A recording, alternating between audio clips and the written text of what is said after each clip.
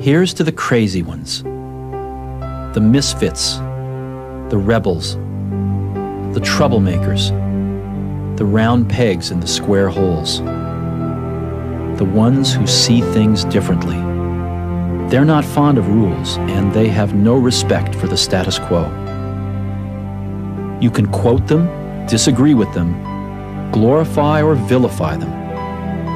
About the only thing you can't do is ignore them, because they change things. They push the human race forward. While some may see them as the crazy ones, we see genius.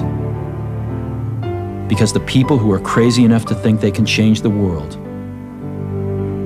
are the ones who do.